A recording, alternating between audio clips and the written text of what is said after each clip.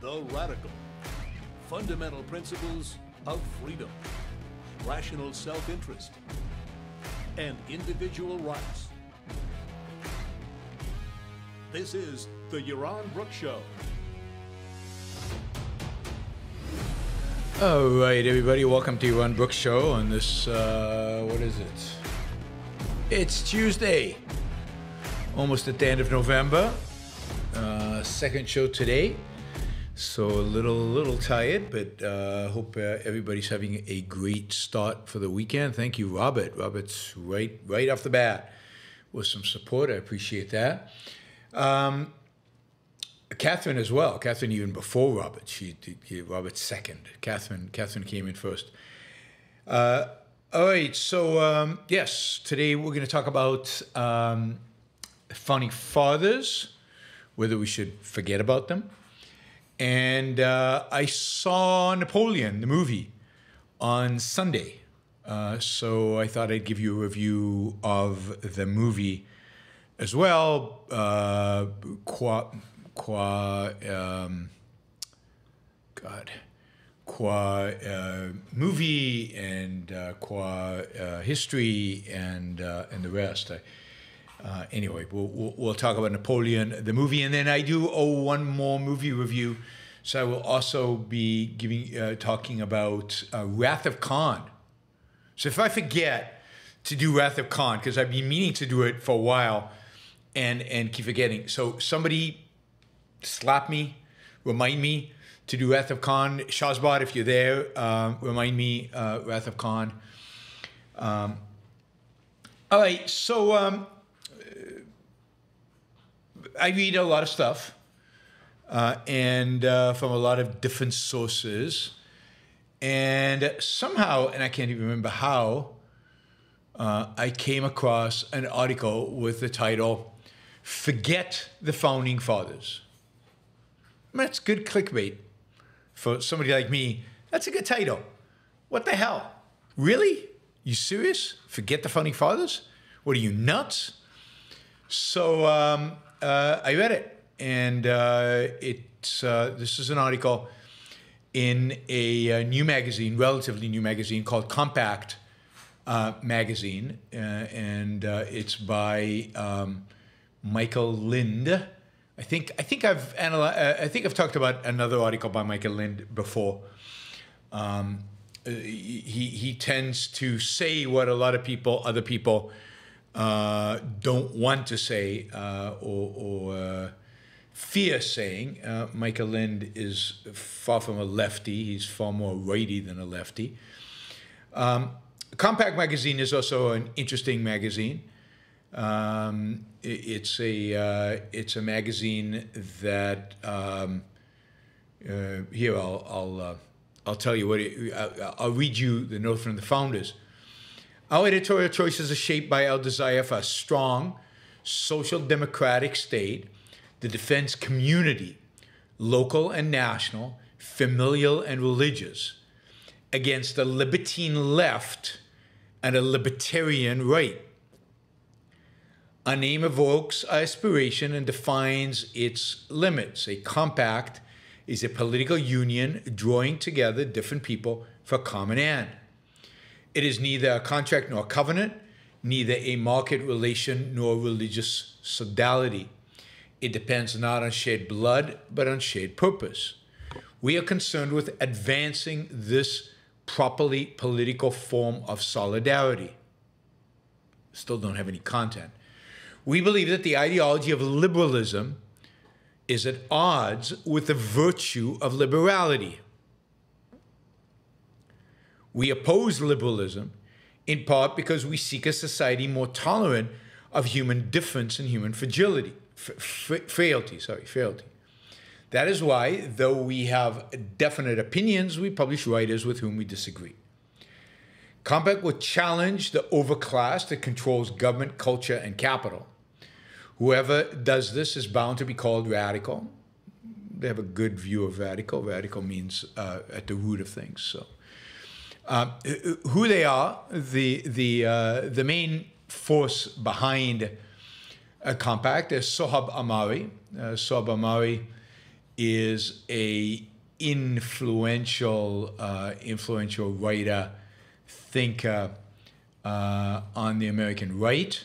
Uh, he is was one of the. He was involved with national conservatism, but then he really was too right for national conservatism. So he, he's more involved with the integralists. Um, but uh, this is a, uh, I think, becoming a powerful voice on the American right. Compact uh, publishes a lot of different authors, but primarily authors that you would consider of the right in one form or another. And uh, Michael Lind is one of those, although again, he's not traditional in any kind of uh, in any kind of uh, in any kind of way. Uh, the article asks. It starts out with with questions like, you know, what would the founding fathers think of today's America? What would they invite us to do in domestic policy and foreign policy? Uh, would they be proud of contemporary America? And then goes on to, and then he, he goes on to say, the answer to all these questions is the same. Who cares? Seriously, who cares what James Madison would have thought about internet regulation? Who cares what Jane, uh, Thomas Jefferson might have said about the war in Ukraine? He goes on. The cult of the American founding, the cult of the American founding, has no parallel in other English speaking democracies. American political ancestor worship in which the founders, like a cloud of ghosts, hover over our shoulders, smiling in approval or shuddering in disgust. The cult of the founders in its present form is only a few generations old. Modern founderism is a relic of the second half of the 20th century. It provided a what he considers a non-racist definition of the American nation during the Civil Rights Revolution and supplying the American state with a missionary creed that could rival Marxism, Leninism during the Cold War. Uh, I mean, according to Michael Lind, America basically was defined uh, uh, around racial grounds for much of the 19th century. It was the land of you know, Brits and, and Germans and Aryans, basically. It then uh, it got this inflow of, of, uh, of Southern Europeans, which created a real angst and, and real challenges. And then, of course, it had a challenge itself with the, it, it, it was challenged by the civil rights movement. Uh, all of this created uh, an identity crisis because you could no longer identify yourself as just white or even uh, white Northern European. Uh, now there had to be a new identity for the nation. That new identity for the nation um, uh, was found in uh, uh in uh, in the founding fathers. But he says the equation of American identity with political beliefs makes no sense. Individuals in other countries can believe in the ideas of the American founding, how I defined, but that doesn't make them U.S. citizens, absent legal immigration and naturalization nor is there any procedure to strip citizenship from Americans who think that King George or Jefferson Davis was the good guy and Washington or Lincoln or, or the villain of American history. So, uh, you know, uh, uh, um, all the founding fathers did uh, is, uh, he says, um, they, they served a useful social purpose during the Civil Rights Revolution and the dismantling of the anti-Jewish quotas in Ivy League universities. this is pretty, pretty bizarre. At the same time, it provided an alternative to the traditional Teutonic Protestant version of American national identity. Post war democratic universalism, that's how he defines, I guess, the founding fathers, was worked up into an evangelical secular creed that could contrast Marxist Leninism in the Cold War struggle to win the hearts and minds of people in post colonial Africa, Asia, and the Middle East. So the Federalists, the Alexis de Tocqueville, all of that were just ginned up in order to help America find its identity during a period of racial angst and in order to differentiate itself from the Marxists and uh, and the communists the communists uh, overseas. It was more a PR stunt than anything else, and really nobody really believed in it, right? Even even after World War II, nobody really, really. Uh, you know, uh, uh, admires the founding fathers. Uh, I mean, the the the left in America was uninterested in the founding fathers, even post World War II. Uh, libertarians, he writes, had little use for either Jefferson agrarians or Hamilton's developmentalism or neo mercantilism, and found their prophets in modern emigres from Russia, Ayn Rand, or Austria, Ludwig von Mises, and F.A. Hayek, not the early American Republic. He ignores Ayn Rand's writing about this. But anyway, um, uh, so the only two groups that, that found any kind of uh, any kind of affinity uh, to uh, to the founding fathers were American populists and the Buckley Goldwater Reagan fusionist or movement conservatives who favor an incoherent mix of foreign policy hawkishness, Christian conservatism, and libertarian economics. As if any of them believed in libertarian economics, that would be something. Um, uh, but he says American populists, they don't really care about the founding fathers. They care about the idea of a revolution. They care about the idea of of, of guns and, and fighting off the British and anti-elites, right? The anti-elitism. They really don't care much about the, the, the elites that they that, that actually founded the country, the, the, the founders themselves. Uh, on the other hand, the the conservatives, uh, don't care about the revolution. They just care about the Constitution. They've turned it into like a Ten Commandments, and uh, they have let it deny uh, and restrict the ability of the government to provide a lot of services and a lot of goodies to the American people. His conclusion in the end, you know, he says that you know there, there is no um, there is no basis for worshiping or, or admiring or using the founding fathers as a standard for Americanism. Um, ultimately, um, you know, uh, uh, it, it, it's meaningful. It's it's meaningless. It's some kind of history worship that means nothing, uh, and we should stop caring about the founding fathers. We should start thinking about the founding fathers. Stop looking at the founding fathers. Yeah, he writes that that you know this this uh, the conservatives, you know, by the veneration of the Declaration, have, um, have of teaching the American people they shall not have nice things like living wage, labor unions, guaranteed access to inexpensive health care or adequate social insurance. All, all, all um, plaques of the new right. They're all things that the new right want to have. This is the sense in which he's not a leftist he is part of the national conservatives who all want these things. He's part of the integrationalists who all want these things. He is part of a new right that wants statism, that wants the government to give us goodies, that believes that is the role of government. I wish, I wish that saying that you want living wage, labor unions, guaranteed access to inexpensive health care, adequate social insurance was a left wing, exclusively leftist, um, you know, belief. But it's not anymore. Not anymore. Uh, this is the belief of Sohrab Ahmari. This is the beliefs of the up and coming young radicals of the right, not of the left. These are the radicals of religion.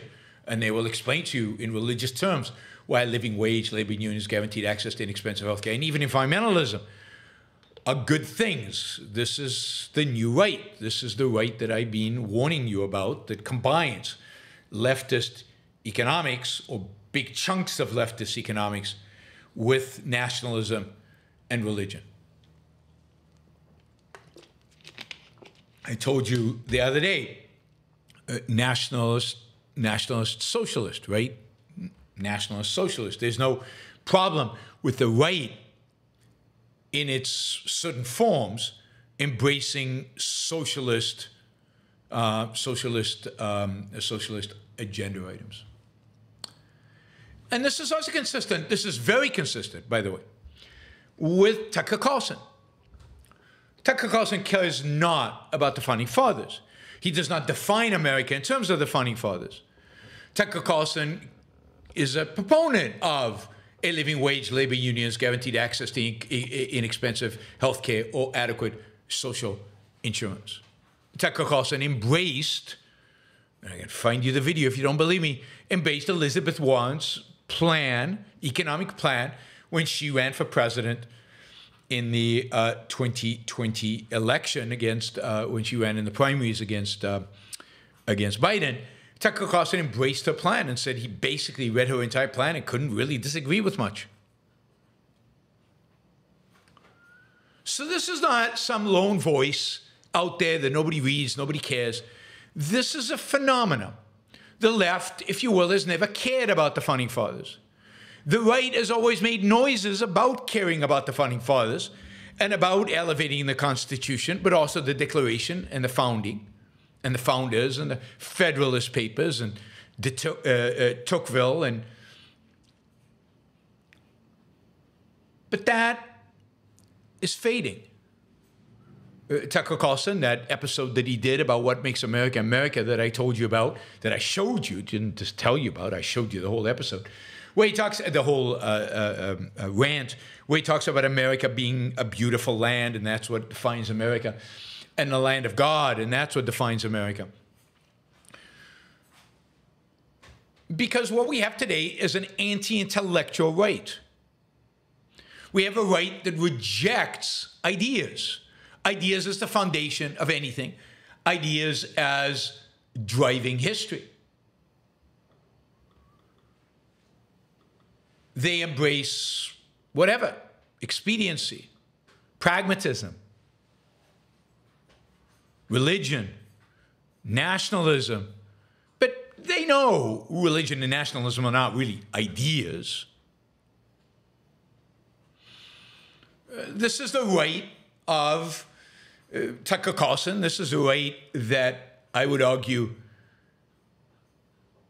the presidency of Trump elevated this is the way that Trump, in a sense, created the Trump's pragmatism, made necessary. He needed the kind of people to fill in the ideas for what he was bringing forward. These are all institutions. This, if you look at the uh, uh, at Cass's Institute, I forget I forget the name of the institute that Cass's founded, and there's probably a, a, a dozen, half a dozen to a dozen institutions that have come about since during the Trump administration and since all trying to present Trumpist pragmatism, Trumpist nationalism, Trumpist populism, Trumpist statism as American and providing the economic justification and economic uh, basis for it, providing the philosophical, the, the historical, the, the ideological basis for it and Compact is one of those. It's one of those that were made possible and gained an audience because of Trump, because of Trump's success, and uh, and because of Trump's, in a sense, pivoting of the American mind away from the Tea Party, which was Constitution, founding fathers, the idea of America, to America, the land of beautiful things, and the land that I was born in, uh, th- they would say, I wasn't born here, and the land that has roots in Christianity and in uh, and uh, uh, you know in, in, in, in some vague notion of Europeanism or being European. I mean, it's astounding. Uh, to get from the right, somebody says, forget about the founding fathers. But this is the new right. Notice that in America's in presidential debates, and I've been saying this for years and years and years and years, over a decade now, never a mention of the concept of individual rights. Maybe once in a while, the Constitution comes up, at least in the days that Rand Paul or Ron Paul were on the debate stage, the Constitution would come up, but not individual rights.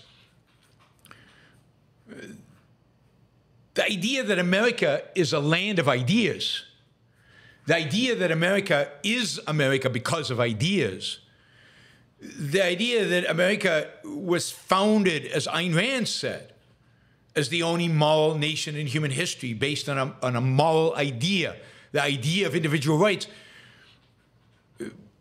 you know, would not, you know, it, it would not even, they can't even imagine it. They're anti intellectuals. They're pseudo intellectuals.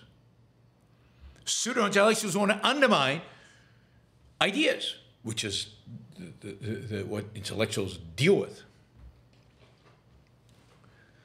So let's be very clear what America is, or maybe it was, maybe it isn't anymore. Maybe, maybe that's gone. Maybe that's a, a, a an old perspective on America. But America was. It was the land of the founding fathers. The founding fathers set something very special in motion. The founding fathers created something unique in all of human history, changed the way the world thought about politics, about the role of government, about the role of the state.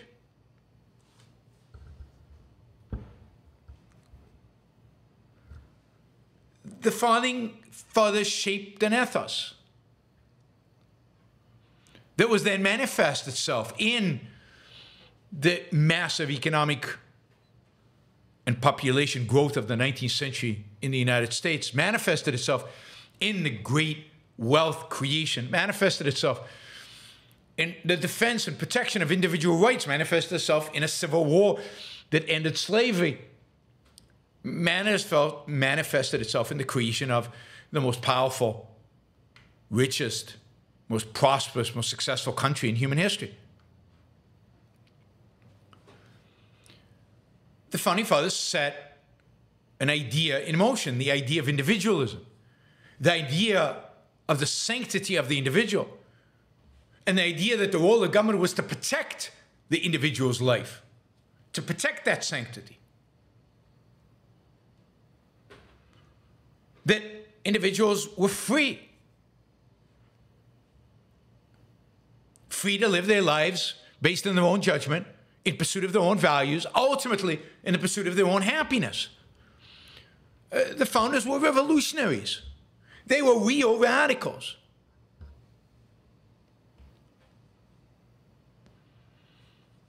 And they shaped they concretized, but then they shaped the sense of life that not only shaped the sense of life of the people who lived in America post revolution, but all the, the, the, lives and the sense of life of the people who emigrated to America during the 19th century and 20th century. America is the land of individual rights. America is a land of liberty it's a land of freedom. Its essential characteristics are liberty and freedom, even when the founders didn't fully understand them, as they didn't with regard to slavery, as they didn't with regard to education. Uh, Thomas Jefferson supports public education, as they didn't with regard to a lot of things, but the essential characteristic, the thing that identifies them, that essentializes what America is, is liberty and freedom of the individual, not some liberty or freedom from a foreign government, from a king, but we want our king, but a rejection of kings. And again, it is the founding fathers. I mean, eh, eh, I don't know, maybe I'm wrong, but there, but there, there is a sense in which uh, uh, Hamilton, I think, uh, uh you know, uh, Hamilton and, and, and Washington could have, they could have culminated, they could have made Washington king, and most Americans would have accepted it. But Washington, as a founding father, rejected that notion. He didn't want to be king. That was the whole point of the revolution not to have kings, not to replace one king with another and call that freedom, but to eliminate kings per se, to eliminate authoritarianism per se, to create an executive branch that was fairly weak in the name of individual liberty, individual freedom. That's what defines America. That's what makes America. And that is the founders. And many intellectuals and some politicians of later ages that kept that tradition, kept those ideas alive. Because in uh, people in the courts and other places who kept the ideas alive without keeping them alive, they, they would have died, uh, struggling to survive today. But for that, one has to have an appreciation of ideas, of how ideas shape lives, how ideas shape politics. So, you know, he asks in the beginning here. He asks, uh, you know, what would what would uh, uh, James Madison have thought about internet regulation? Well, the question really is: is what are the principles by which James Madison thought about any issues like this? What are the principles in play? What are the ideas at play? What are the rights being protected or being violated? So it's not an issue of what James Madison would have thought about a particular, because that's hard to tell and it's irrelevant. But what is relevant is what are the ideas that James Madison, the universal principles that he would have brought to apply to consideration of that particular concrete.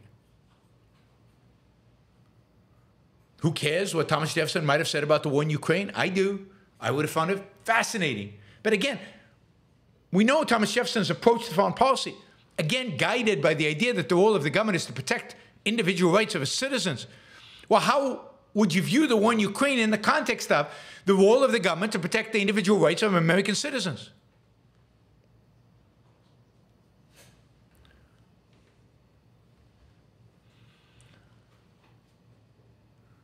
That's not a cult of American founders. That's identifying the American founders as unique thinkers in human history, as thinkers who applied the principles that were discovered by other intellectuals during this era, applied them to governance, applied them to politics, applied them to the world. And if only, don't we all wish we had just one politician who would apply them today, who would talk about them,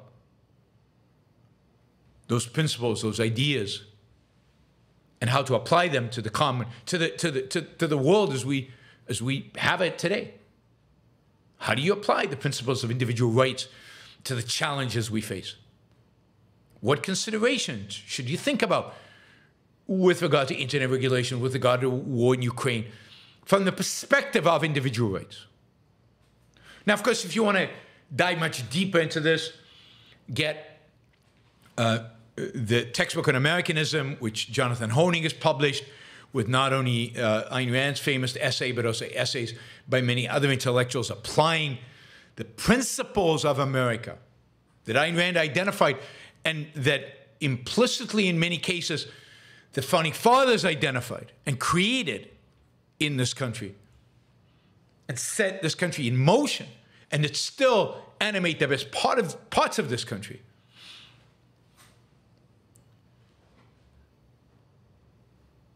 It is,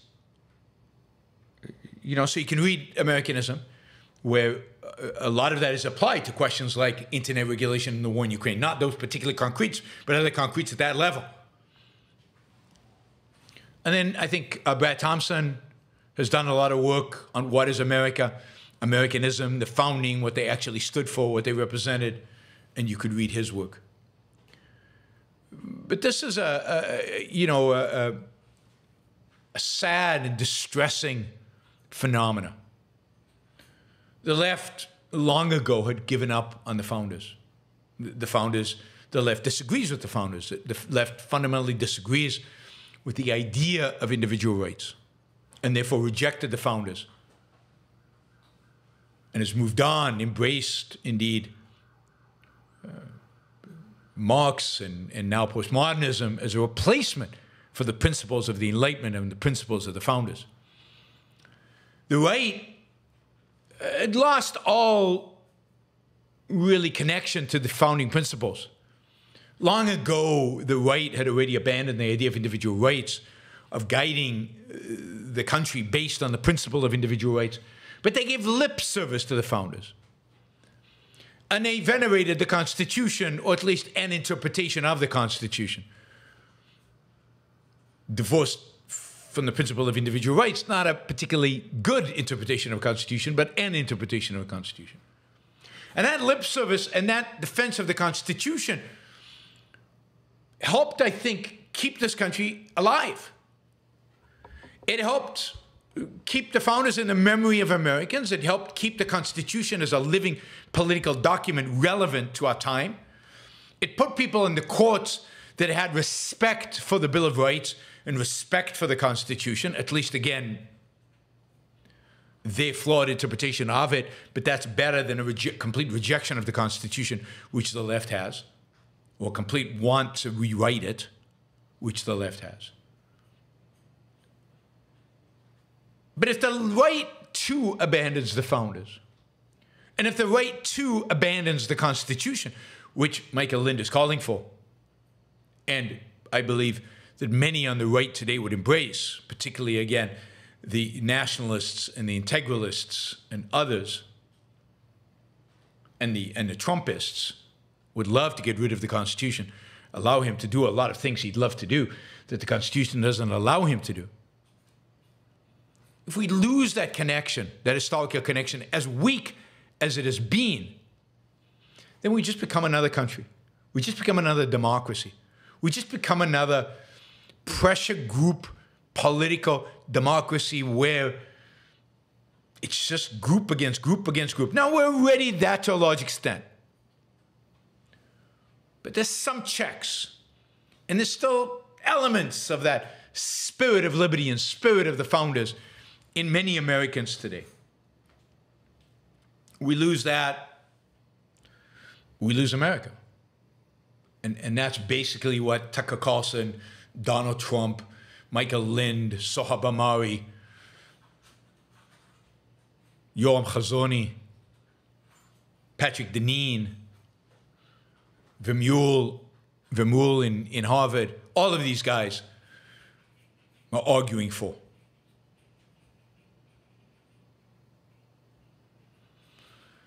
So, yes, um, America, the concept of America, the idea of America, as I think manifest in the founders, in the kind of debates that they had, in the kind of arguments that they had, in their writings, and in the Constitution and Declaration that they left to us,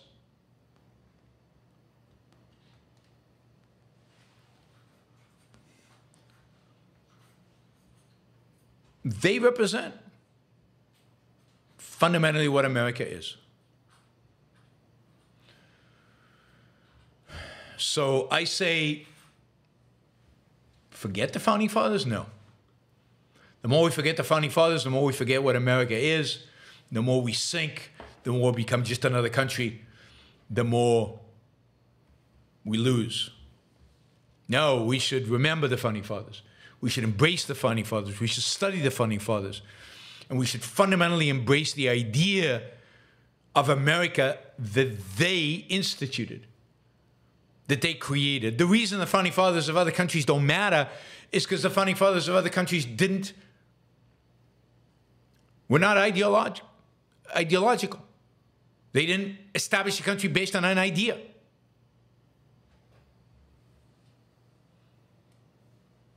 That's what makes the founding of this country so unique so different. These are men of ideas that grounded an entire country on an idea. Incredibly successful one. We're still benefiting from that idea to this day. Imagine if we had no First Amendment. I mean, hard to imagine because it would be such a disaster. All right. Um,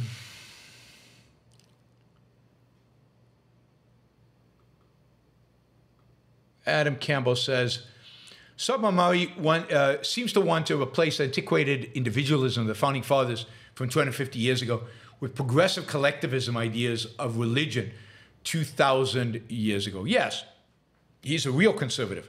He wants to conserve way back. I mean, conservatism is always battling. What do you want to conserve?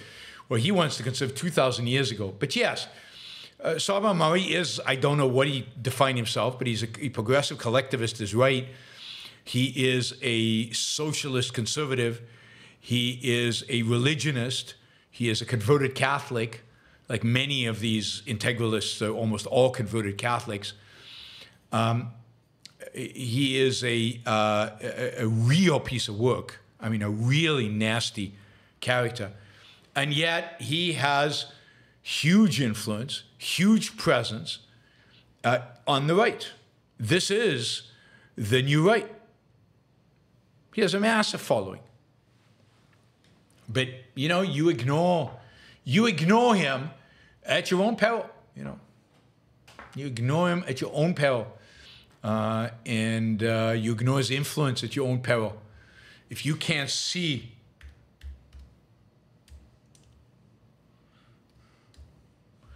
um, it, if you don't take his him seriously, that's fine. Um, it is your future. All right. Let's see. Uh, where are we?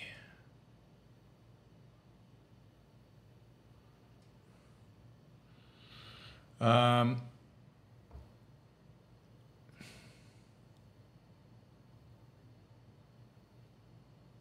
yeah, Sub's latest uh, thing is attacking Nikki Haley, going after Nikki Haley, which makes sense, and, and celebrating Geert Wilders. Um, all right. Thank you, Adam. Uh, yeah, um, we have a goal, as you know, uh, super chat goal. So please consider supporting the show. We've got about 100 people on. We have to get to 650. We've got a lot of $10 and under questions.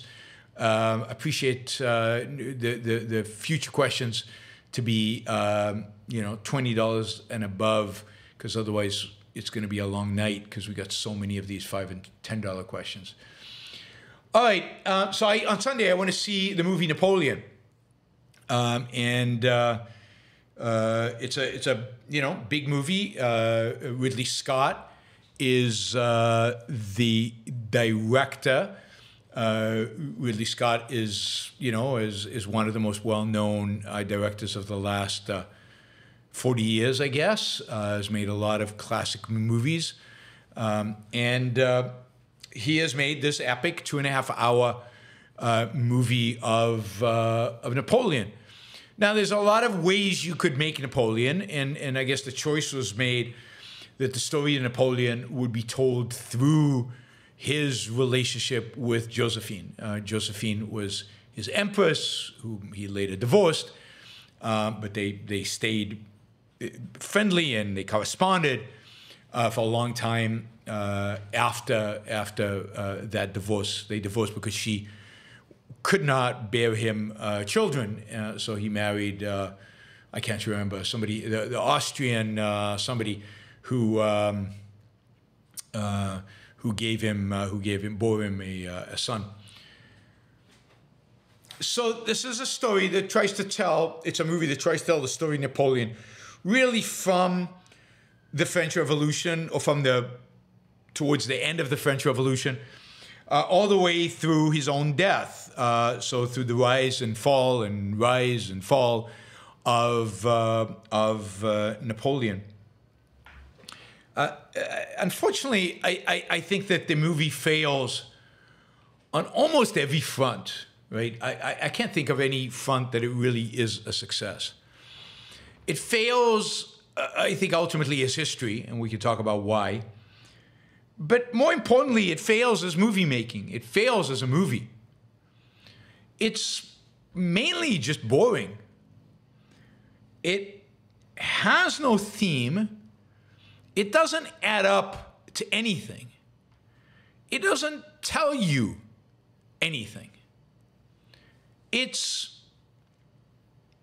you know, uh, uh, what's his name? Um, um, who, who uh, portrays Napoleon? Um, somebody will tell me in chat. His name has just slipped my mind.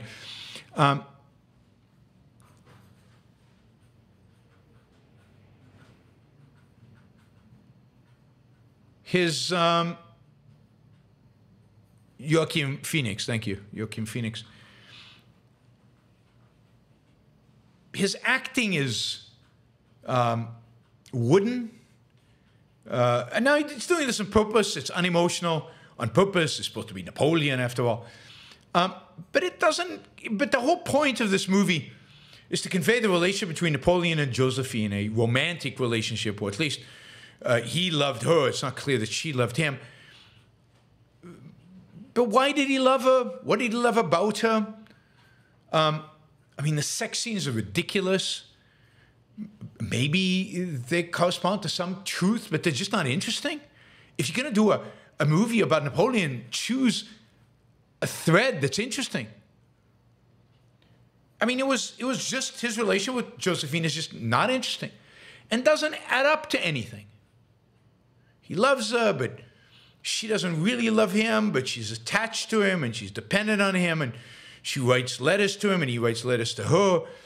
Um, and he professes her love, his love to her constantly, but you never get a sense of the nature of that love or, or, or any any kind of manifestation of that love. It's it's just a, a very, very empty, emotionless movie. Even the battle scenes are not very impressive. Maybe a common theme to uh, Michael Lind's article is there no ideas in the movie. There's no conception of what the French Revolution was about, what Napoleon was about, why so many people in Europe were infatuated with him, why he could rally the troops behind him other than his military genius. What was it that made people follow him into battle? What did he stand for at the beginning? Did his ideas change at any point? Did he just win his battles because of his genius? Why was he so hated? What was about what he represented that was hated? Was he a man of the Enlightenment? Or was he the anti Enlightenment? I mean, these would have been interesting ideas, even if they were just surfaced and indicated that some of this was going on in the background. And the movie does none of that. There's none of that. It's bad. The movie's a bad history movie because it's too episodic to get any sense of the history. And I'm not talking about whether the history is accurate or not. I, I, I, don't really care. But you don't really, my wife told me after the movie, she said, if somebody doesn't really know the history of that period of time, they would have known what's going on. Too episodic, too arbitrary, too, there's no connecting theme, there's no connecting thread, there's no story. So it's a movie with no emotion you, you really don't care for Napoleon. He's not a person you care for. There's no theme, there's no thread. There's some battle scenes. Some of the battle scenes are pretty good. There's a few tidbits that are interesting. I did not know how Napoleon became famous. His first battle with the British, um, where he defeats them thoroughly, is, is really interesting. But I really didn't learn anything about history, anything significant about history it's just, it really is just empty. Empty. Which is sad because two and a half hours, massive amounts of talent, huge investment. I don't know how many tens of billion, millions of dollars it cost to make this. But you could have told an interesting story. There's something here to be told. I mean, Napoleon is one of the most important figures in the history of the last 250 years. And understanding him, understanding why he rose, why he fell, would have been interesting. But there was nothing, none of that. Really, none of that. So, very disappointing. Uh, negative review for two and a half hour big production. One of the worst I've seen. Uh, you know, usually at least they get me on the on the grandeur of it and the special effects and the music or something. Here, there was nothing to commend the movie for. Literally nothing. Uh, I tried walking out to think of okay, what, what were the positives? What, what what did I enjoy? What did I like? Nothing. Nothing really came to mind. But there really is. I mean, this is the thing. We live in an anti-ideological era. We we live in an era uh, that is anti-ideas, anti-themes, anti-perspective. You got the same thing a little bit in Oppenheimer. That that much better movie, by the way, much much better movie. But no point of view no commitment to any kind of ideological stand. No real, this is what I believe from the filmmaker. Nothing really. Even though ideas were at the heart of that movie because of the focus on communism. All right, um, let's talk about Star Trek. Star Trek II The Wrath of Khan. Um, Star Trek. Um, uh, this is a, this is a, the second movie. Um, it is, in a sense, a sequel to the episode, uh, the Star Trek episode in which Khan is introduced, and and this is really a uh, continuation of a story that start. I'm pronouncing Khan wrong. Anyway, uh, so be it. Everybody knows what I'm talking about.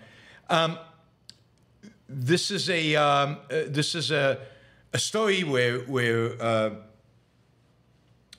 Captain Kirk uh, encounters Khan in a in a previous in in in the regular season in uh, in an episode and ultimately uh, you know st- strands him and his crew on some desolate um, uh, desolate island um, somewhere. Oh, he's doing the the the Shatner scream uh, some desolate island, uh, some desolate planet uh, somewhere. And and in this uh, Star Trek, in, in this uh, movie, uh, Khan is is is discovered. Um, he then managed to take control of a um, of a of a, a, a spaceship. Um, and and challenges basically the Enterprise, um, and is is out to seek revenge against Shatner, against Captain Cook.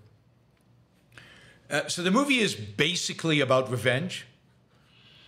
And I think it does a, a, a really good job. I, I, think of all the movies, this is maybe the best movie of Star Trek. Although, when you watch the old Star Treks, including the movies, the special effects are so ridiculous that it's hard to take these movies seriously completely. But granted that, in terms of story, this might be the best of the Star Trek movies. It's definitely a story about the revenge and how um, revenge that is driven by emotion, revenge that is that is uh, uh, uh driven by by hatred, uh, revenge that is that becomes your superior value, your top value, is self-destructive is ultimately going to, you know, uh, destroy you. And one of the things this the movie actually illustrates really, really well is this is one of the best movies in terms of, uh, one of the best Star Trek episodes, really, in terms of Captain Cook being supremely rational and and constantly thinking and not getting swayed by the emotion, by fear. Whereas Khan is constantly constantly driven by emotion and instant gratification and, and, and hate and the, the desire to destroy Captain Kirk, desire to destroy the Enterprise. It ultimately leads him to making stupid mistakes, irrational, coming to irrational uh, decisions that ultimately leads to his complete destruction. So actually, a really good story. I mean, it, it's it's it, it's different than the kind of revenge you see in the Count of Monte Cristo. Count of Monte Cristo? I don't know if you've ever read the Count of Monte Cristo, but that's a great book, and uh, there are movies of it that are, that are pretty good. But the Count of Monte Cristo is, in many respects, the opposite, the, the, the flip side of Khan. That is, if you take a rational approach to revenge, you think it through, you plan it carefully, you take your time, you apply reason and rationality to revenge, then it can be incredibly successful and incredibly worthwhile. But Khan is driven by emotion. And, and if anything, the theme of Star Trek 2 is uh, emotionalism will lead to destruction. Emotionalism in the service of revenge will lead to destruction. Whereas rationality in the service of revenge can lead to revenge, which is what happens in the Count of Monte Cristo. Again, a book I highly recommend. I think it's uh, I think it's very good. All right, um, Shazbot, thank you. I enjoyed I enjoyed watching Wrath of Khan. Encourage you guys to watch it. It's a good movie.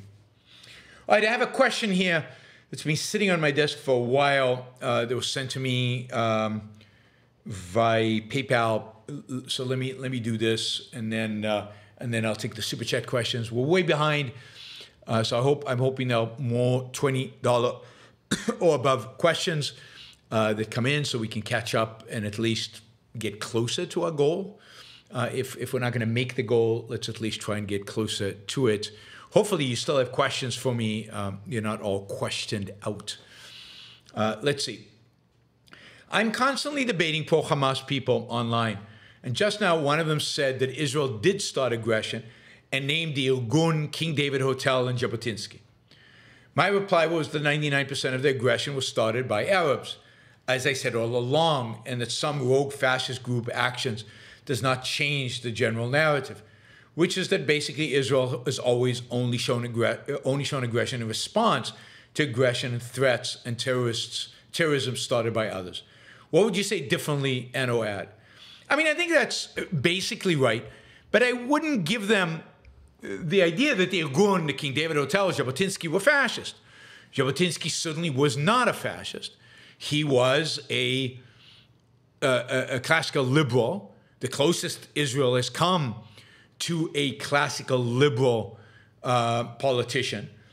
Uh, he was an advocate of markets. He was an advocate of um, uh, uh, you know, he was a Zionist. He was an advocate for the creation of Israel, and believed that Israel, and, and I think justifiably, and I think history has, has, has proven him right. He believed that Israel, to be successful, to be a successful country, to be a country that can survive over the long run, must be a strong, militarily strong country.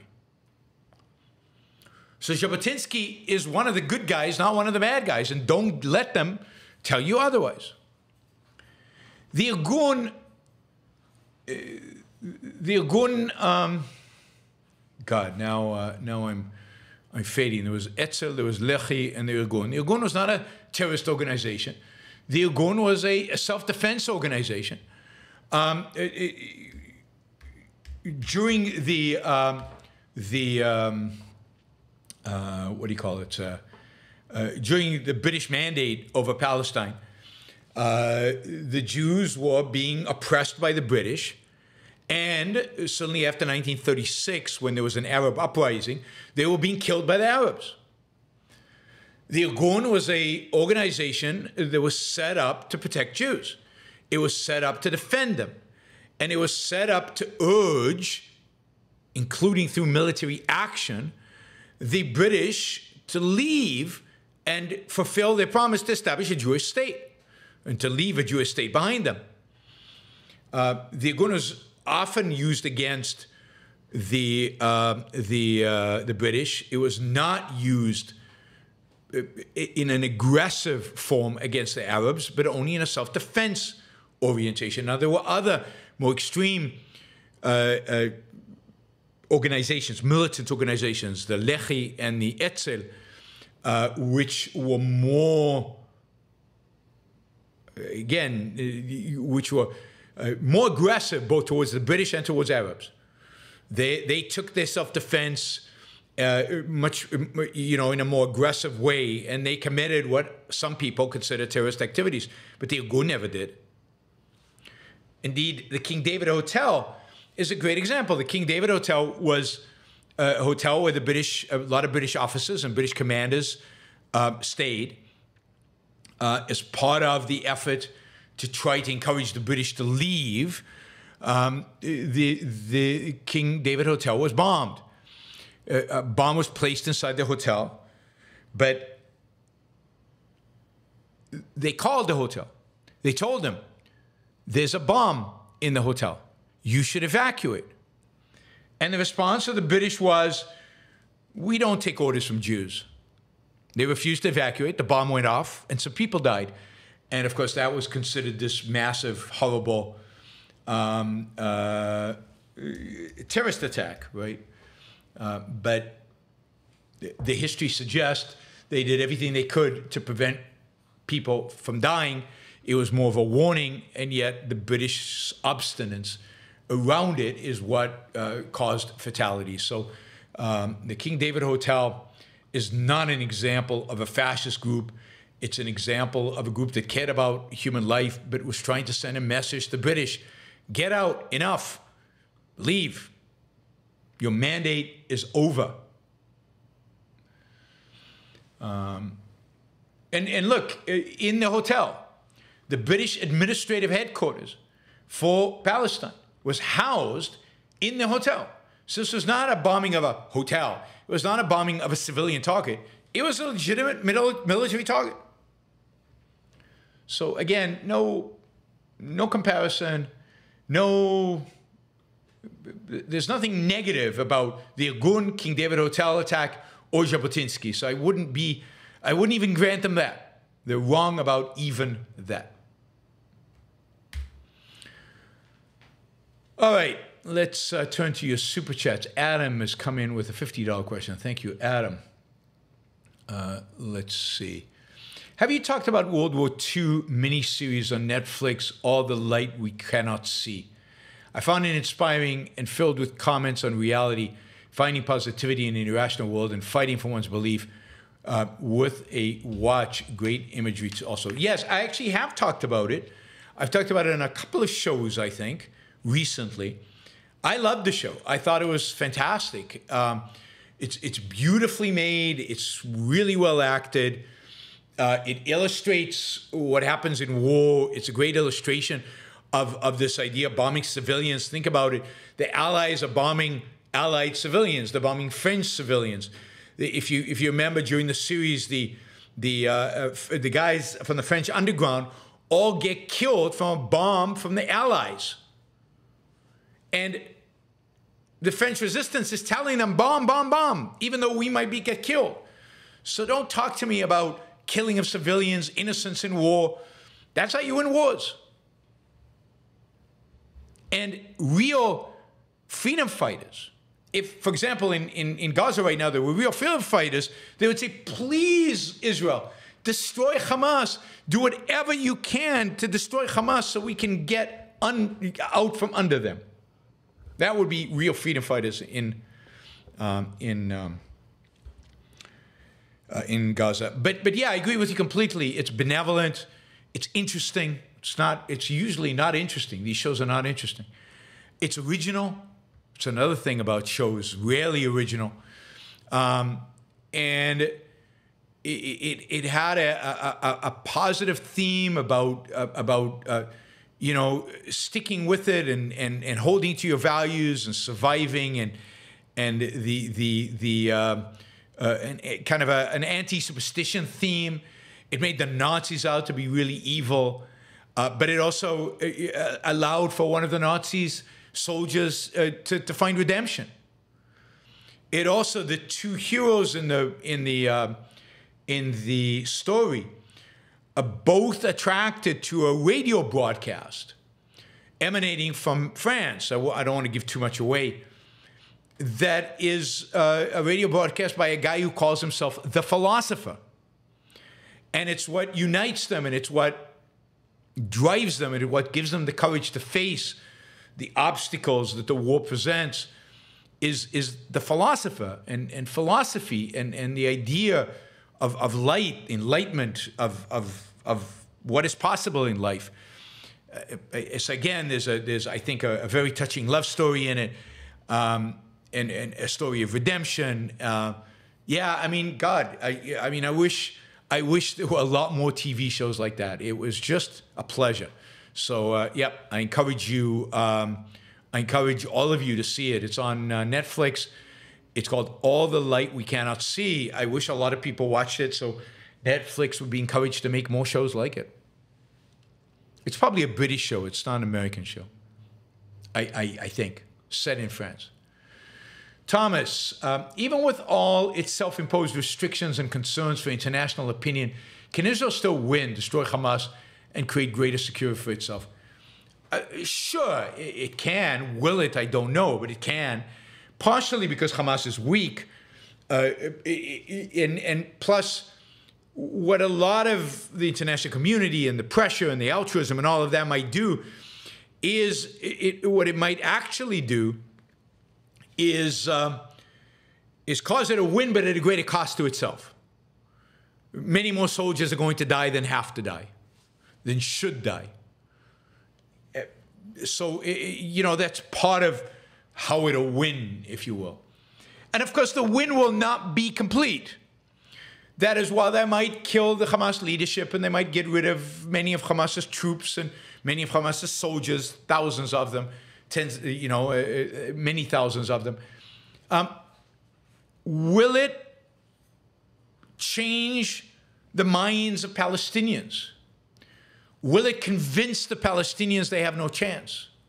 Will it convince the Palestinians that Allah has abandoned them, which is what it needs to do?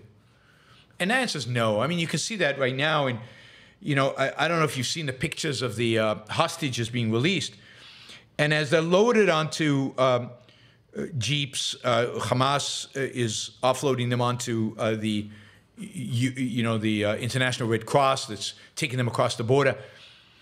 The Palestinian people are there, jeering at them, yelling at them, throwing things at them, at the hostages. And if Hamas let them, they'd all be slaughtered by regular, ordinary Palestinians. So the problem is not Hamas. The war is not a war with Hamas. The war is a war with the Palestinian people. The problem is the Palestinian people. And I don't know that the world is willing, and I don't know that Israel is willing to embrace that. And if you don't, I mean, you might defeat Hamas, but if you don't defeat the Palestinians, you haven't done that much. You've done something, you haven't done that much. Stephen, do you think the underground economy fueled by illegal immigration is a significant factor in the surprising strength of U.S. economy? Um, no, partially because I don't think there is a big underground economy. Uh, I mean, the United States, even with the illegal immigrants, they tend to pay taxes. They tend to be registered. It's, it's very difficult. And it's not, you see, underground economies uh, succeed where taxes and everything are so high that reporting people, the penalties are really, really high. So you, you, you go underneath. But in America, nobody much cares if you're legally legal. If, if once you get a job and you're paid, you can find ways around it. You can cheat. You pay Social Security because it's not that high. You pay your income tax because it's not that high relative to other countries and other places. So there isn't a lot of an underground economy. Now, no question, the illegal immigration helps the economy chug along, but it's not that substantial. It's not that great, and the, it, there's no underground economy in the sense that there is in, in Greece and Italy and, and, and other countries that are really, really heavily regulated and heavily taxed. Gene, thank you. Nottingham, thank you. These are all people who've given stickers uh, without asking a question supporting the show. You can do that too. 109 watching. We've got 360 to raise. Ed Kulski, thank you. Stephen Harper, thank you. Um, and uh, you can support the show by by uh, Jonathan Honing, of course, is right there, and uh, so you can support the show by doing a sticker. Bill Donaldson, thank you, Bill, and uh, so we can get closer to our goal and fulfilling our goal. Somebody asked on the chat, "What is the money used for for me to live, so that I can do this?" If you you're consuming this, it's obviously a value to. If you're consuming it, I'm asking for a trade. I'm asking for value for value. If you don't value what I do, why are you here? Then, then that's just weird, right? Okay, Andrew says, why do you think it's Catholics who are leading the collectivism of the new right? Uh, that's a great question. Um, I think because Catholics are the intellectuals. I, I think what you get is um, the, including the pseudo intellectuals. The Protestants are emotionalists. The Protestants go by emotion and, and they get carried away and they get swept away. They're going to be the populists. They're going to be the supporters of Trump and the, the, the rabid supporters of Trump. They're going to be the, uh, the people who get excited. They're going to go left or right depending on who the top of the ticket is and how excited he can get them. Protestants don't tend to be super ideological to the extent that they are even really Protestant, evangelical. Catholics are super supposedly rational, right? They're about ideas. They're, they're, they're about principles. They're about um, consistency, and they're, you know, and, and, and they're about uh, making the world a better place in a in a in a organized, systematic way. They're much more scholastic than than Luther's emotionalism, really. So you get the, the, the, almost all of the intellectuals on the right, particularly on the new right, are Catholic because the intellectuals on the right, I mean, the real intellectuals on the right, they care about ideas either, therefore, they want to promote ideas or they want to destroy ideas. But they understand that it's ideas because that comes from Catholicism.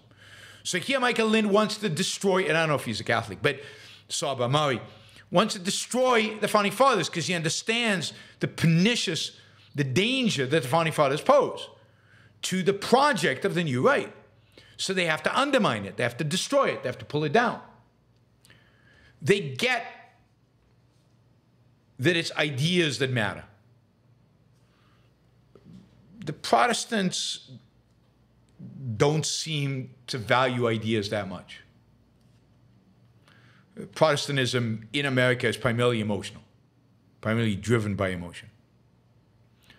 Um, if you look at most intellectual movements, uh, particularly on the right, they are driven by Catholics and Jews. Catholics and Jews.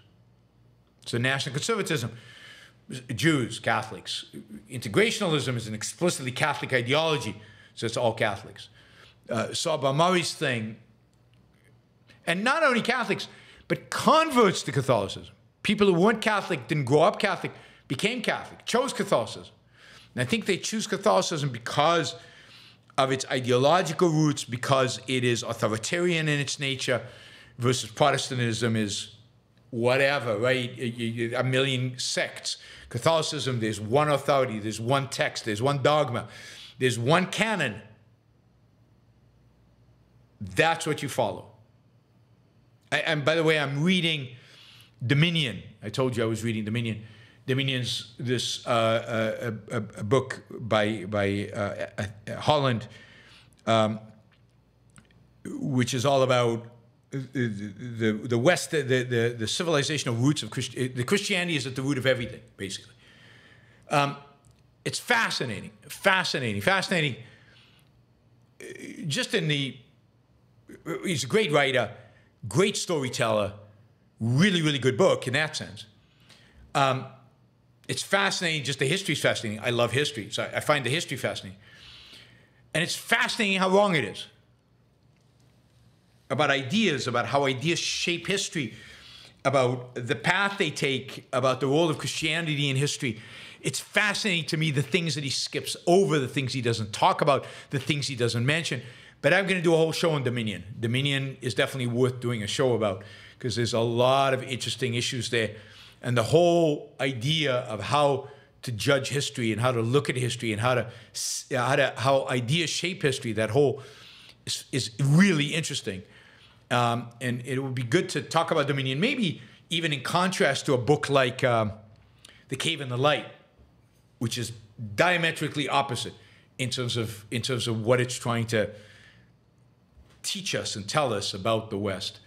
Uh, but anyway, we'll, we'll, we'll, get to that and we'll uh, we'll discuss it. Fascinating because it, it's also it's what Ayaan Hirsi Ali mentioned in her uh, conversion to Christianity letter. It's what almost everybody is now mentioning as see Western civilization is fundamentally Christian. There's no question about it. Look at look at Dominion. Look at the book of Dominion.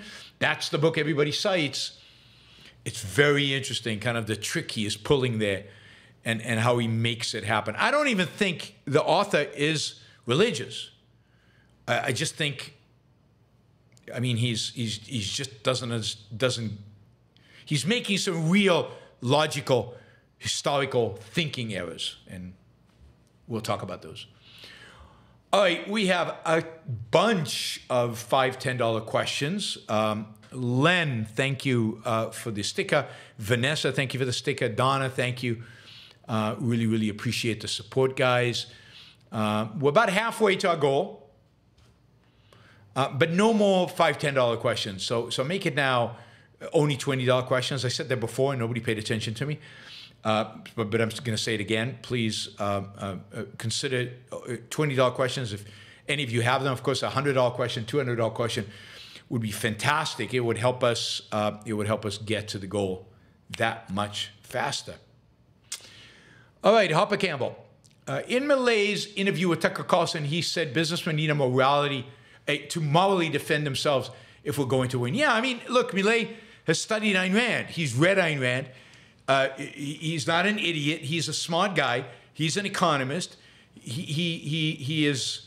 Um, yeah, I mean, he, he gets Ayn Rand, and he's surrounded by well, not surrounded by.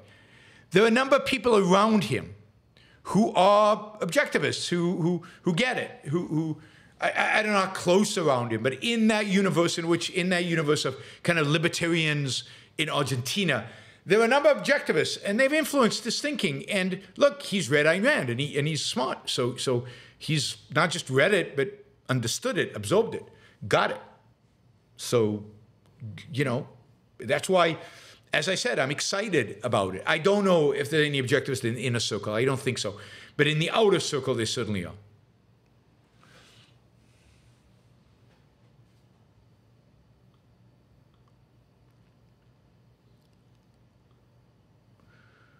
All right. Uh, Clark says, do you think many nihilists and nihilistic intellectuals motives are to get off on making others hate them? getting that reaction from people is a high because it sucks their energy. Interesting. I, I don't know. Um, I don't think so. Well, I mean, I, I, I think there's a sense in which I think they, they get off on the attention. They get off on the other party's anger and the other party's falling apart, in a sense.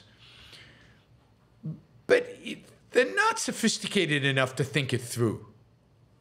I, I, think it's more driven by emotion and response and response to emotion and, and so on. So uh, basically, what they want is, is, is to see the world you know fall apart and seeing individuals fall apart on social media seeing people lose it seeing people become emotionless seeing people grovel or, or, or, or just just demolished that gets them off. There's no question about that. And maybe that's the sucking their energy out of it. Maybe that's a component of that. Quite possible. Um, all right, we have 105 people watching. Don't forget to like the show before you leave. It helps with the algorithm, doesn't cost you anything. If you're not a subscriber, please consider subscribing. It would be great to have you on board and be great to, for you to be uh, uh, get announcements of when we uh, have a shows. Uh, so please consider subscribing to the show. That also helps the algorithm and everything else. And uh, the 109 now, yes. And uh, also consider three dollars from everybody on the sh- on right now would get us to our target pretty easily. So please consider doing a sticker or asking a question.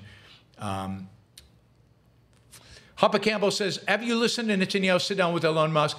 I saw I, I saw parts of it. I haven't seen the whole thing. I, I you know I'm not that interested. I have to say I, I don't like Netanyahu, as you know, and I don't I don't believe anything he says, particularly in English. Um, and Elon just seemed like on a PR campaign, and he was going to say what needed to be said in order to look right and good and just.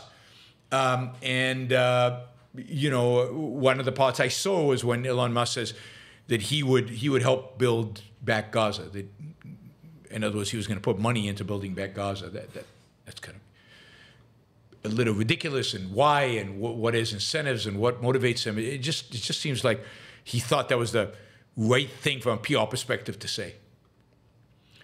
Clark, successfully happy people are always resented, and that resentment easily turns to hatred. That that's absolutely true. Um, and that is what Ayn Rand called hatred of the good for being good, hatred of happy people for being happy, ha- hatred of successful people for being successful, hatred of moral people for being moral. So that's absolutely right. Michael, do statist policies make everything grimy in cities? In a pure free market, wouldn't everything be clean and modern? There would be no such thing as bad neighborhoods. I think that's probably true. I mean, uh, uh, you know, even today, if you go to, if you go to, for example, to Tokyo, uh, you know, everything's clean. Um, not everything's modern necessarily, but the, the, I don't think there are really bad neighborhoods in, in Tokyo. Tokyo is also incredibly safe. You could be walking out any time of night, and and the the, the chances of violent crime against you are almost zero. Uh, that's true if you're a man or a woman. It doesn't matter. Uh, it's true of Singapore. Singapore is modern and clean. This the neighborhoods that are poorer, but but not the kind of slums that, that you might see in some parts of the United States. Um, Yakuza is overstated, and the Yakuza is rarely violent, rarely violent and, and rarely violent against civilians. They might be violent in terms of fighting among themselves, but uh, there's very look at the look at the statistics. There's very little to no crime in Tokyo. Um, you know, they, they uh, it's an incredibly safe place, uh, unbelievably safe place. Same with Seoul, South Korea, another fairly clean place. There's some older parts of town which are a little run down, but generally it's clean, super clean. Tokyo, uh, Asia generally, particularly uh, I'd say Japan, Korea, Singapore, are very clean places, very clean places. And I think that would be the norm in a established, you know, uh, a successful, you know, rule of law free market. Yeah, Beijing is safe. Shanghai is safe. China's generally safe. Um, Asia's generally safe. I mean, uh, uh, but uh, you know, Beijing. It's hard to tell what the motivation is, but Tokyo, Seoul, Singapore, free places generally, but uh, and yet in, in incredibly, incredibly safe. I mean, the murder rates, rape rates, uh, uh, violent rape rates are the lowest in the world. whereas in the United States, you have some of the highest in the world. Uh, James says, thoughts on Jennifer Burns? Is she trying to hurt objectivism? Yeah, I mean, I don't think Burns is. I, I think a problem is she's not a great thinker. She's not radical. She's she's a conventional thinker, and and she is trying to frame Ayn Rand in terms of conventionality. I don't think she's trying to hurt objectivism, but she doesn't particularly like Ayn Rand. Ayn Rand is the focus of her research. She's an quote expert on Ayn Rand, but she's a conventional expert on Ayn Rand, coming at it from a conventional perspective.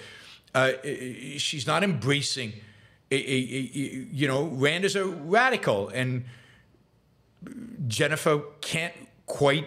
She certainly doesn't agree with Ayn Rand on her radicalism, and she doesn't quite understand the nature of that radicalism. Is she trying to hurt objectivism on purpose? I doubt it. I, I think it's just a, just, just uh, uh, her whole frame of reference.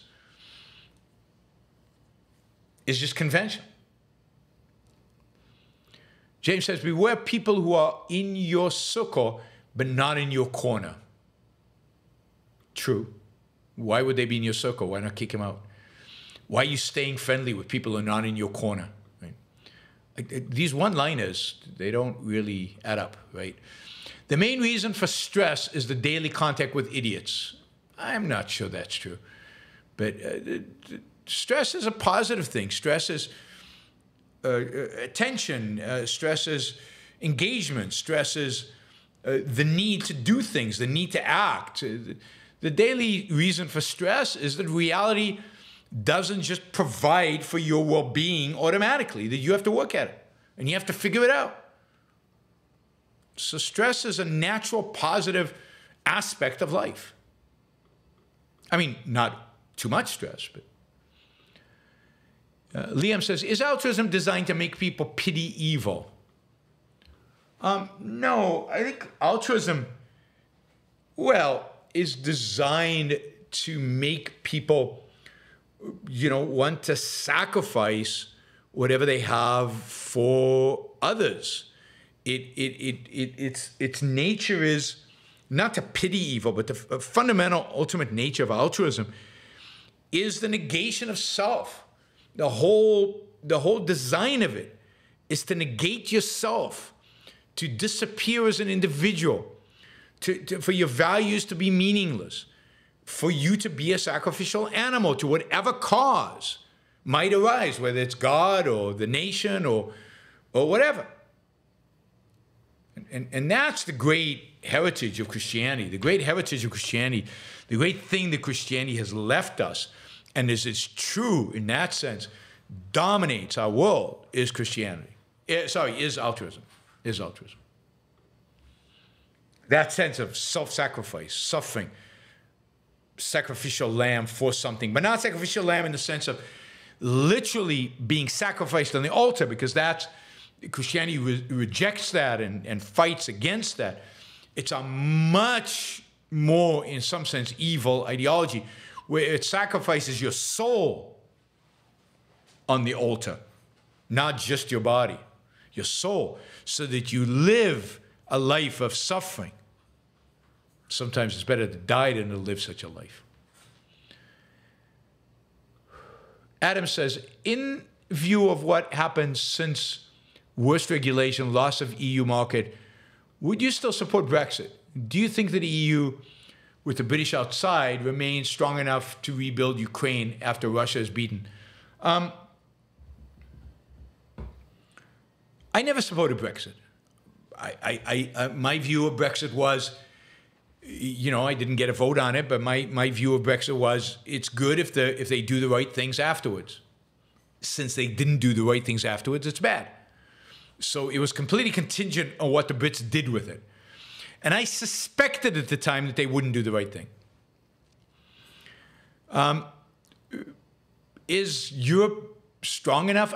So I think the answer is yes, it is to rebuild, to help you rebuild Ukraine. I think it is.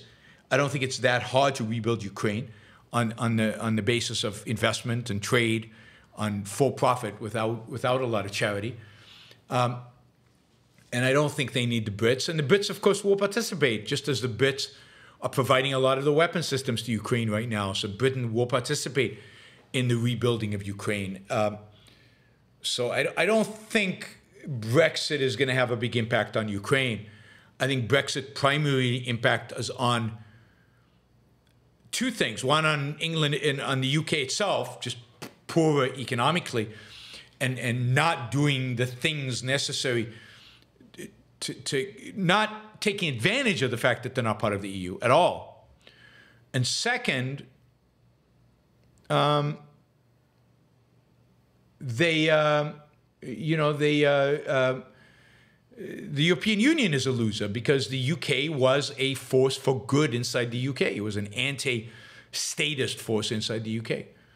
But uh, unfortunately, uh, Great Britain has kept almost all the regulations from the EU level has not established new free trade uh, agreements in any significant way with the rest of the world, as it promised it would, did not make itself a free trade island, um, you know, did, did not deregulate, did not cut taxes, and did not did not establish free trade. So what was the point? Liam, Christian altruism somehow different or worse than Jewish and Islamic altruism? Oh, Christian altruism is worse. Is worse for the individual. Jews don't, I mean, Jewish altruism is Christian altruism today. There is no Jewish altruism. Uh, Jews were not altruistic um, in, uh, in the Old Testament, uh, significantly altruistic.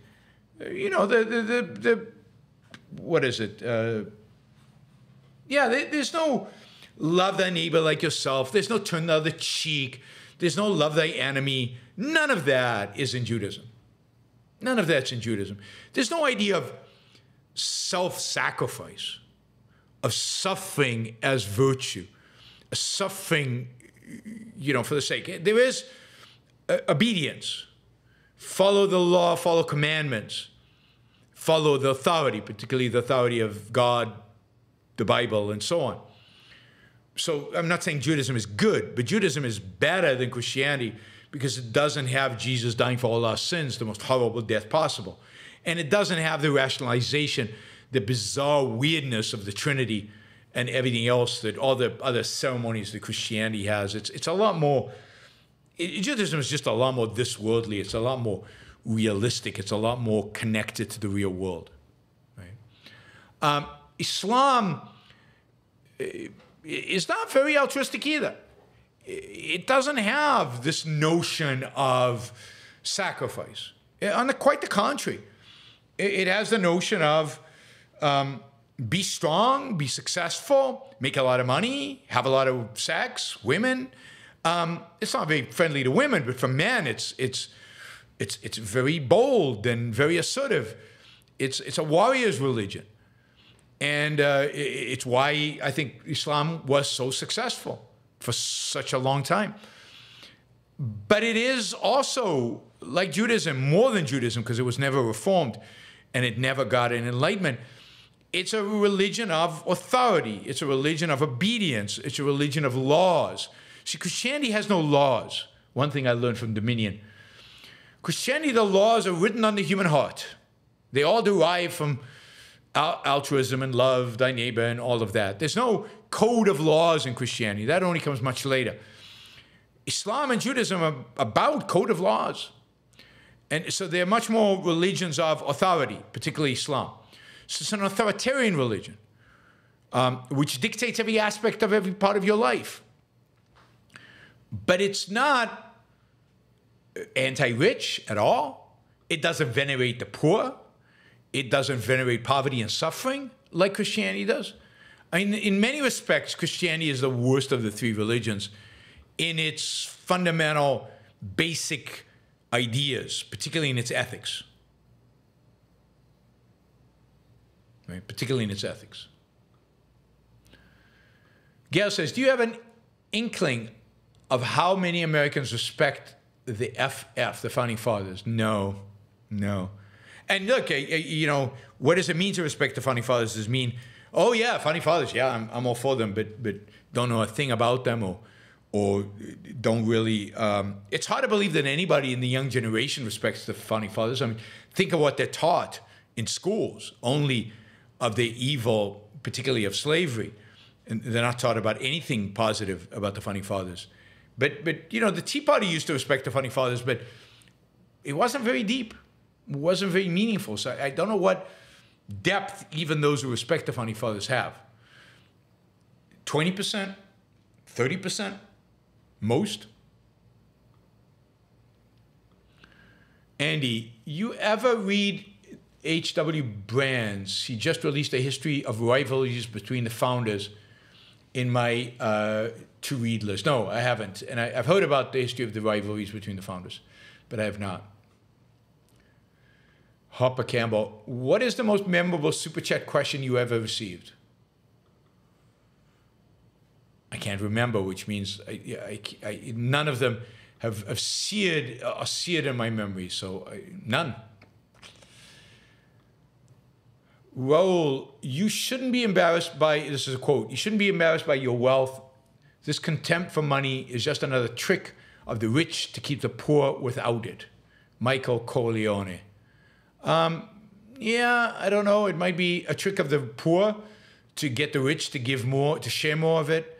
Um, I don't think it quite goes in the direction that he asserts. But the Godfather movies were really, really good. Hopper Campbell, we are at the point where we have to let them kill us as reparations. Hamas, Black Lives Matter, etc. It certainly seems that way. That's the only thing that they will accept is, is not you, it's you sacrificing yourself for them. You sacrifice yourself literally for them. Michael says, What will Western societies ultimately tolerate regarding Muslim barbarism within their own borders? I don't think much. I, I, I, really don't. I think Muslims are toast. I mean, look what happened in Ireland. Now, it was small. It was just a few hundred people. It was thugs, basically. But I, I, Geert Wilders uh, winning uh, the Netherlands, the rise of the SPD, SPD in, in Germany, um, the, the rise, I think, of, of, of, the increased popularity of the right in France. Um, England's the only one that's not going in this direction, it seems. But it definitely seems to be a, a lack of uh, what do you call it? Patience, patience uh, among uh, Europeans for Islam. And if the Muslims get violent in Europe, that lack of patience could turn into violence against Muslims quite easily, I think. That Doodle Bunny says, Why do you think Chris Christie has been so unsuccessful? He seems like the only adult in the room sometimes. Well, because he's the only adult in the room. Eh? Nobody wants an adult. Um, I think because he's, uh, you know, he, he doesn't have an agenda. He's not serious. His agenda is attacking Trump with his great agenda, and that's great. But the Republican Party doesn't want people to attack Trump. They love Trump. They think Trump was the Messiah in many respects. They have no desire for somebody who is willing to tell them the truth about Trump. No desire at all. I mean, there's very little desire here in my chat to be told the truth about Trump. So um, I, I, I, think that's why he doesn't resonate. It's because nobody wants it. Nobody, nobody wants to hear it. Nobody cares. Ed uh, Kelsky, I agree with you that we have to check immigrants before they come into the country, but don't we need to a wall to stop the bad ones from coming in? I thought you were against building the wall. I'm very much against building the wall. I, you know, uh, but I think if you make immigration legal um, and you have, I don't know, a dozen checkpoints along the southern border uh, where people can come in legally, they can show that they've had the background check, they can show that they've been tested for diseases or whatever, and you just let them in. I, I, I think there'll be very, very few people to, trying to sneak in. And the people sneaking in, you can shoot. That is, uh, my view is if you make legal immigration super easy, then the assumption is that the people who are sneaking in are crooks, criminals, terrorists. And then you can be really, really tough on them.